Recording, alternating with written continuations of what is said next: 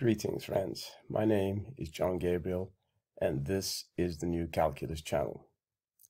So today, I'm going to be talking about a topic that I discussed about seven months ago, and it's a very important topic because it proves to students that the definition of the mainstream derivative in calculus is indeed flawed.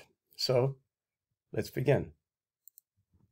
Now, you'll recall I showed you this video here, uh, how Newton and Leibniz influenced the development of cal calculus negatively. And in this video, I explained to you that uh, you can actually find uh, a derivative function in terms of angles for any function and it will be defined everywhere as I showed you in that video. So for example, uh, if I have this function, this this is what the uh, where all the derivatives will be defined between 0 and minus pi over 2 radians. Okay, this is for this function here. And uh, in fact, every function's angle derivative falls between half pi and negative half pi. So it doesn't matter uh, what function you have. So if you have x squared, again, let's clear this and see what happens when we plot the, oh, let's put the trace on. That'll help. Okay, and this is, again, those are all the derivative, that's the derivative function, okay, the one in, the, that you see the red dots. Okay, so I'm not going to spend too much time on that because you can come back here and watch this video, okay? So, and I'll put a link to it so that you, you know where it is. Now, the problem with the mainstream definition, and here's the problem. The problem is this, is that this uh, identity that you see here is a true identity. It comes from my historic geometric identity. In other words, this identity here, okay? So so let's move that a little bit here. Okay, now uh, this identity states that the slope of the non-parallel red secant line, this red secant line, which is non-parallel to the green tangent line, is equal to the slope of the green tangent line plus the difference in the slopes of the two, right?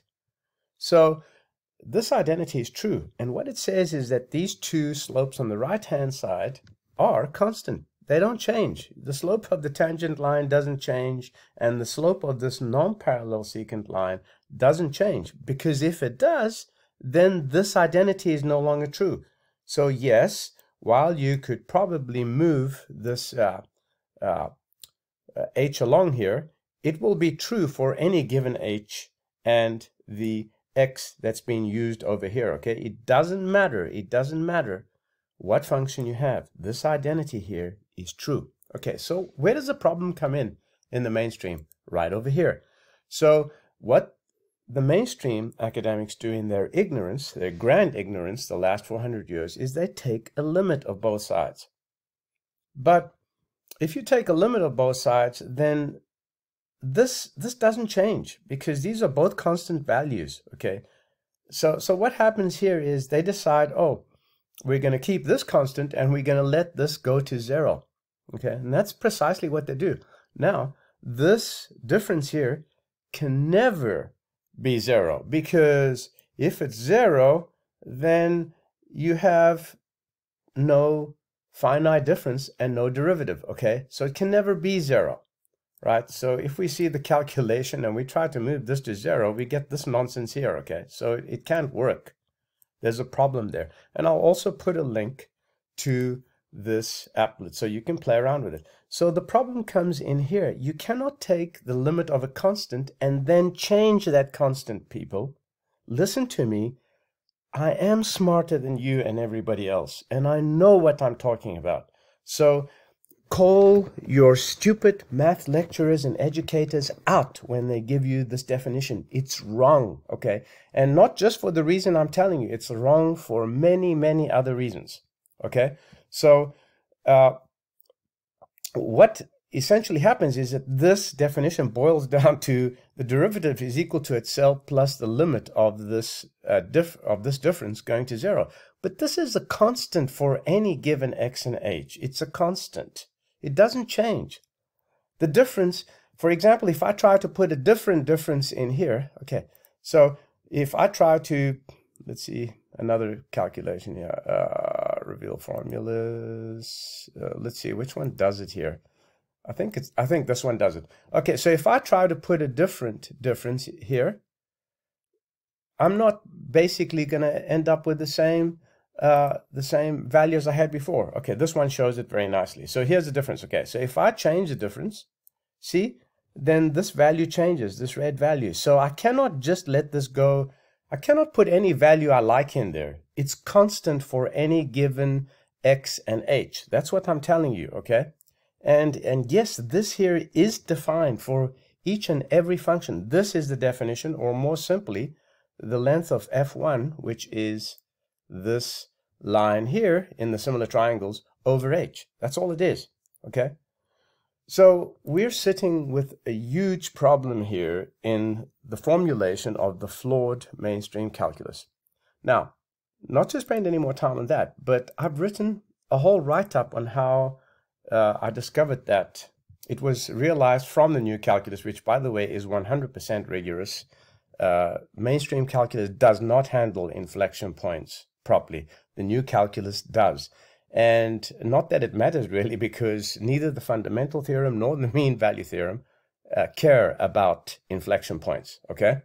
So uh, in this article, I show you how all these things are, are in fact uh, realized, and I give you the proof of each of these uh, slopes, and I show you how I get this. Okay, so make sure you download this article and study it. It's only 10 pages long, and then I show you how it fixes your broken mainstream formulation, okay, which is in this article.